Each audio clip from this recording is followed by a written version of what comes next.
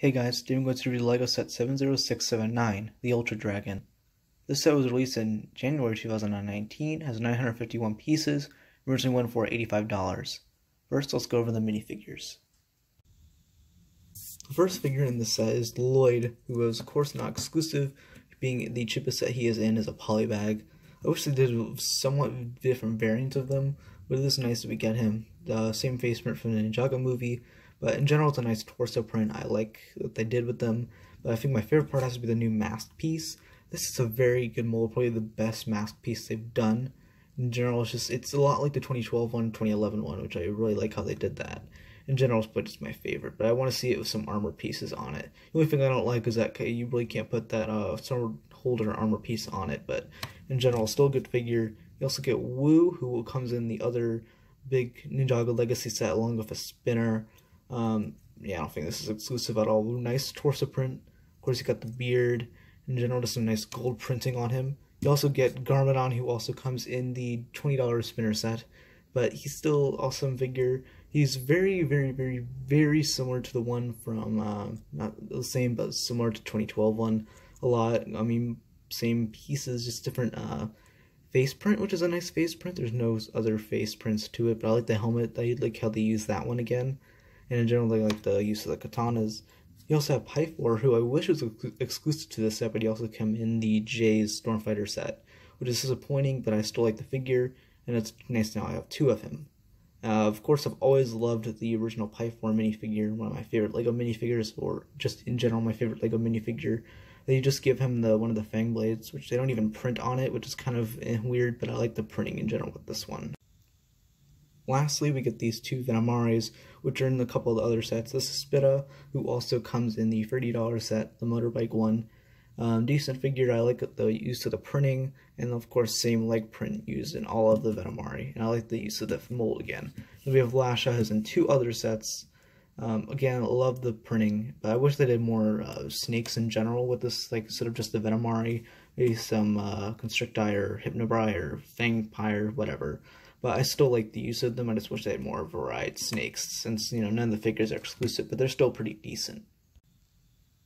Now the only actual side build to the set is this little turret, which has these nice snake pieces, which are in the, of course the color of Pythor.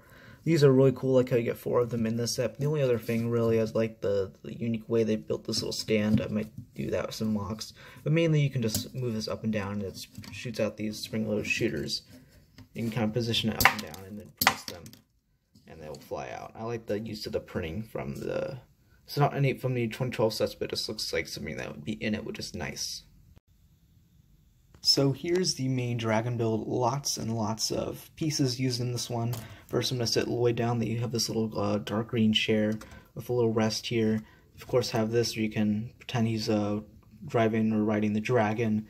Now, I'll show you the main feature in a second, but I'm going to show you the heads off first, since these are, of course, the main ones. First up, the Lightning Dragon, which is, in general, with the original set too, I don't like how the different the colors are different, as I liked how the Lightning Dragon was blue.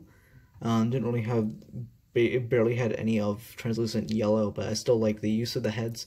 And in general, you can open the mouth and you have two stud shooters. I'm not going to shoot them because I don't. They fly everywhere. You can post each of the heads, and they each have slightly different builds for the face for certain parts of it. Like you can move these little side parts here and move these up and down.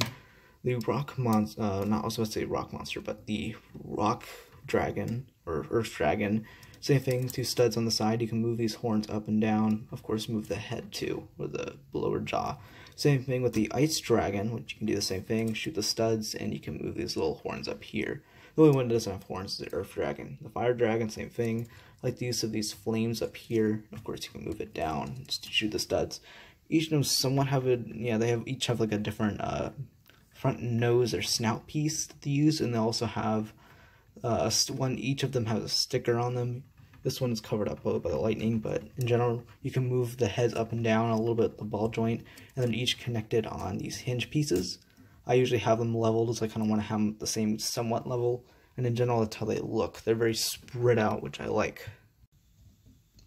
So in order to hold the dragon, you have to hold it by this Technic pin. I wish they maybe could have covered this up a little bit, but it's really not that big of a deal. If someone matches, I just wish, you know, I don't know. Uh, also, the front, you can put a figure here, so you can put a figure up here. You can probably put Wu or something. In general, you can also put a figure here or here, really anywhere you felt like if you, you know, a lot of room, probably fit all six Ninja and Wu on here, which is nice. You can move the tail, um, of course, you can swivel it back and forth, and you can, uh, it's used somewhat like the original one, except they use, uh, certain pieces for the gears. You can move all of these up and down. These are really nice pieces used in the original set, which I like. Now with the legs, they actually can't move except for the feet.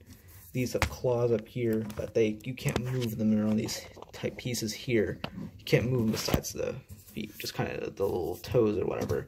Kind of disappointing, but in general, it's still alright. I wish if that's one of the only faults of this set is that you can't really move the legs, but it's not like you really need to anyways, because it's going to be kind of hard without falling over. You see this piece here, which kind of covers up the gear. You also have how they did the back, which I like. I like the use of these rock pieces for the scales. And the main feature, of course, is that you can make it look like it's flapping the wings by using these pieces here, which are somewhat like the ball joint type pieces, but smaller and used for the smaller ones like Mixels. So you can make it look like it's flapping, which looks really cool. Of course, you can have it up front like this, or have it back down like that. And it also has to maneuver the feet, which is one of the reasons why it isn't on a ball joint. But you can basically make it look like it's flapping, which is really cool. So in general, a great build for the dragon. I like how they improved in the original one. It also would have been cool if they had a little thing for the Great Devourer, but that would probably made this like a $120 set uh, like the original one. But then again, this one is much cheaper than the original one, yet it has more pieces to it. Overall, this is a pretty good set. I really like how this one remakes the original one, by basically adding on to the original one and making giving it more bulk, and in general making it more pieces. The figure selection is pretty great. I just wish that you know it was a little more is most of these aren't actually, yeah, none of them are exclusive, but still, it's a really good set. I really like the uh, use of the wings, especially, and in general, it's just a great remake of a really great Ninjago self set in itself. Thank you guys for watching, and bye, guys.